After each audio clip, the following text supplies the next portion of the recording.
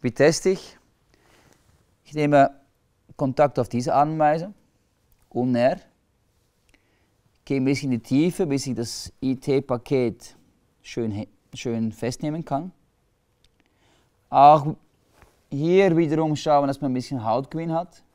Es muss eine schöne Hautfalte hier sich bilden. Und dann kann ich das IT nach Kranial ziehen und dementsprechend testen, ob das Gelenk IT Uterus oder IT Blase frei ist. IT umgreifen, Hautgewinn, testen, indem ich das IT-Paket nach Kranial schiebe. Ich kann das IT beispielsweise mobilisieren, indem ich mit einer Schaukelbewegung die Faszie ein bisschen öffne, auf diese Art und Weise. Dort, wo ich die Einschränkung spüre,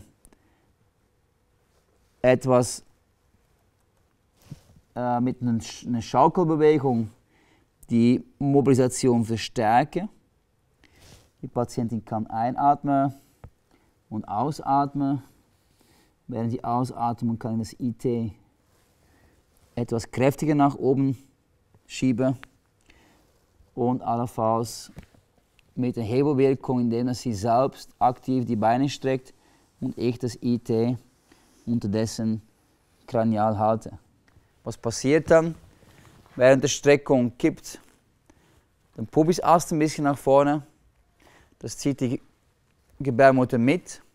Ich halte das IT und somit wird auch das Gelenk wiederum dementsprechend mobilisiert. Wenn man merkt, die Fixierung beispielsweise des ITs ist leicht links oder leicht rechts betont, dann kannst du zum Beispiel, indem es rechts betont ist, die Patientin auf die linke Seite liegen lassen.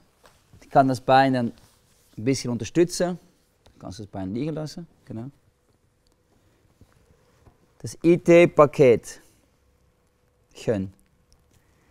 fixiere ich mit dem Daumen und dann kann ich beispielsweise mit diesem Hebel das Gelenk IT Gebärmutter mobilisieren.